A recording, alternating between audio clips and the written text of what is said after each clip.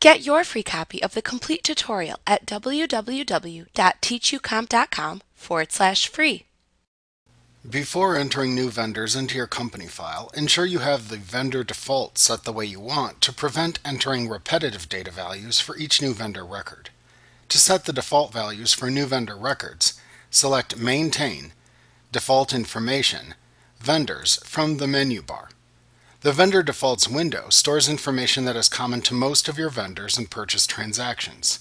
These default settings are applied to each new vendor record you create. Therefore, set these values to the most common settings for new vendors. You can always change the default settings on a per vendor basis when you create the vendor records if needed.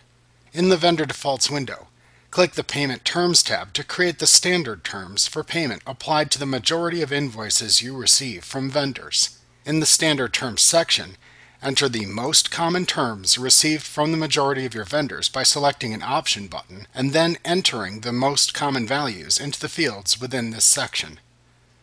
To set the default accounts for expenses and vendor discounts, select the desired choices from the Expense Account and Discount GL Account dropdowns in the GL Link Accounts section.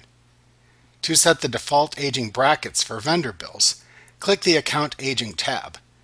To set the default date used to age bills, select an option button in the Age Invoices By section, then enter the default aging brackets for payables and the column headings for each one into the Aging Categories section. To create custom fields for vendor records, click the Custom Fields tab. Enter up to five custom fields by typing names for the fields into the Field Labels boxes and then checking the adjacent Enabled checkbox. To set up to 20 default payment methods you use for bills, click the Pay Methods tab. Then enter the names of the payment methods from most to least frequently used into the Payment Method column. To set how payments to 1099 vendors are recorded for reporting, click the 1099 Settings tab. If needed, select the desired calculation choice from the 1099 Settings column for each general ledger account used. When finished setting your vendor defaults, click the OK button.